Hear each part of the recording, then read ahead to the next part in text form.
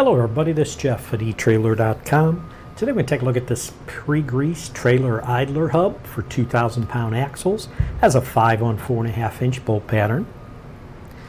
Now this trailer hub assembly will fit the 2,000 pound idler axles with the BT8 spindles. And what's nice about this hub, it is a pre-greased idler hub, so it makes it a lot easier to install. No need to have to remove your hub assembly and pack all the bearings and put it all back together.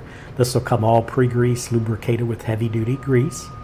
Does include all the components for both standard and easy lube spindle configurations. Basically on the inside of this hub it'll include the inner and outer bearing races both the inner and outer bearings. It includes the grease seal, as you can see back here, already installed. And it comes with two different grease caps, and that just depends on your axle configuration.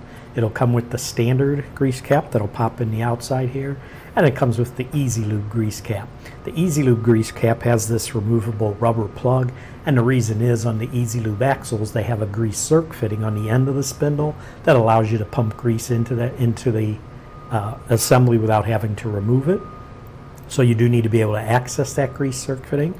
So on the Easy Lube cap, you just pop out this rubber plug and it gives you access to that zerk fitting. now it does also include the lug nuts to hold your wheel assembly to here. They are a, there's five of the half inch by 20 size lug nuts.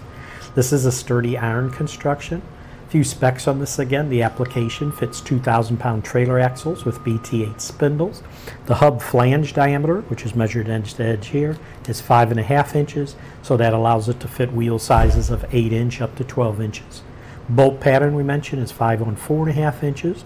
The wheel stud size a half inch diameter, so it does accept the half inch by 20 size lug nuts and the weight capacity on this one assembly is 1,000 pounds. So when this is used with one on the other side of the axle, it'll meet your 2,000 pound axle capacity.